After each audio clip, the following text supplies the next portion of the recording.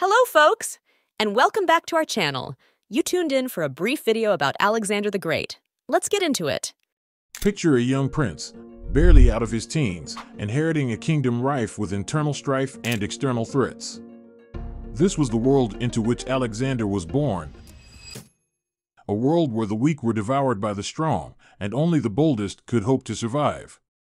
But rather than cower in the face of adversity, Alexander embraced it, channeling his fiery spirit and unyielding will into a singular purpose to unite Greece under his banner and forge an empire that would stand the test of time.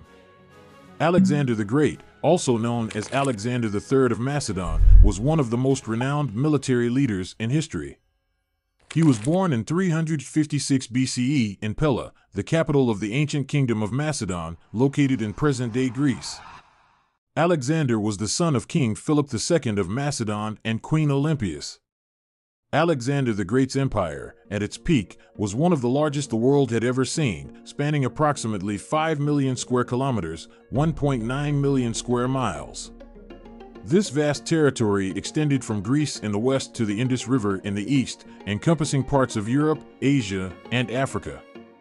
To put it into perspective, his empire covered regions that are modern-day Greece, Egypt, Turkey, Iran, Iraq, Pakistan, and parts of Afghanistan and India.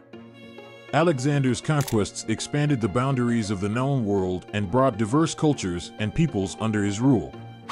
His empire facilitated the exchange of ideas, languages, and trade routes, fostering a period of cultural exchange and synthesis known as the Hellenistic Age.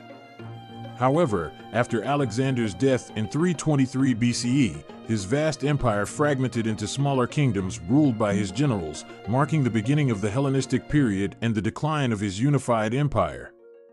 As Alexander's armies marched across the known world, they left a trail of destruction and awe in their wake. From the mighty Persian Empire to the rugged mountains of Afghanistan, no obstacle was too great for the Macedonian phalanx, led by their indomitable king. But it was not just brute force that propelled Alexander to victory, it was his strategic brilliance and unwavering determination to succeed against all odds. Whether facing off against the formidable armies of Darius III or navigating the treacherous terrain of the Hindu Kush, Alexander's genius shone brightest when the stakes were highest. Even in death, Alexander's legacy endures, a testament to the indelible mark he left on the world. His empire may have crumbled in the wake of his passing, torn apart by rival generals vying for power, but the ideals he espoused, of unity, of greatness, of the relentless pursuit of excellence, live on.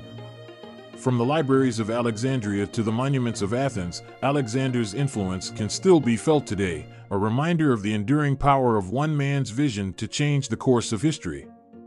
Alexander's death marked the end of an era and triggered a mm. power struggle among his generals for control of his vast empire, leading to the fragmentation of his conquests and the rise of the Hellenistic kingdoms. Despite the uncertainties surrounding his demise, Alexander's legacy as one of history's greatest conquerors and military leaders continues to captivate and inspire people around the world. If you are interested to discuss any ideas or have some feedback for future, let's discuss in comments and I will meet you in the next video of Planet Ponders.